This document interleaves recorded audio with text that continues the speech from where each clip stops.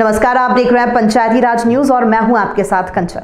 शुचालपुर city के सराफा बाज़ार में गल्ला व्यापारी से लूट की असफल कोशिश के फरार आरोपियों को पकड़ने की मांग को लेकर आज शुचालपुर व्यापारी महासंघ ने थाना प्रभारी सौरभ शर्मा को ज्ञापन सौंपा। चीटी के बड़े बाज़ार में भारतीय स्टेट बैंक के समीप सराफा इलाके में तीन मई को राकेश ट्रेडर्स ग्रीन व्यापारी राकेश उर्फ़ लल्लू जैन को अज्ञात नकाबपोश बदमाशों ने मिर्ची पाउडर फेंक लूटने का प्रयास किया था।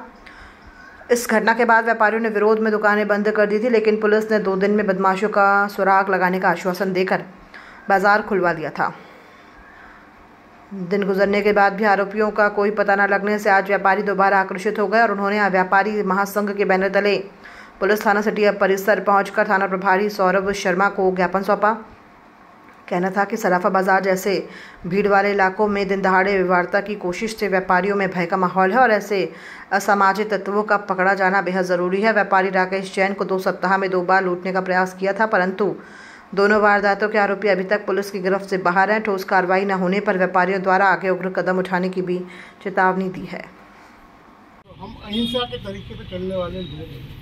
हमारा आपसे हाथ जोड़ के ये निवेदन है कि अगर सात दिन में आपने उसको गिरफ़्तार नहीं किया तो हो सकता है कि हमको शुजालपुर बंद करने का आह्वान करना पड़े।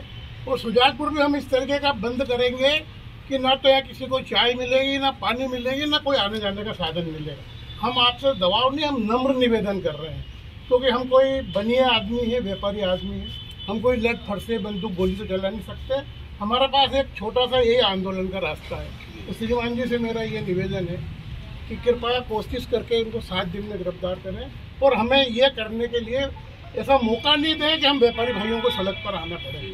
अगर हम व्यापारी कलम चलाना जानते हैं तो हम हिंसा का प्रारूप भी ले सकते हैं। बस मेरा आपसे हाथ जोड़ के यही निवेदन है। हाँ निवेदन ही समझ लो। हम कोई धोस नहीं दे रहे हैं आपको। सर व्यापारी वर्ग के है सर। गवर्नमेंट के जितने भी रूल्स एंड रेगुलेशन है सबको फॉलो करता है सर। लेकिन जब शासन प्रशासन को सहयोग करता है प्राकृतिक आपदा हो, कुछ भी हो, बिल्कुल तत्पर रहता है हर चीज़ यदि खबर अच्छी लगी हो तो हमारे चैनल को लाइक, सब्सक्राइब और शेयर करते रहिए। किसी भी प्रकार की खबर, भ्रष्टाचार, घटना की जानकारी देनी हो तो नीचे लिखे नंबरों पर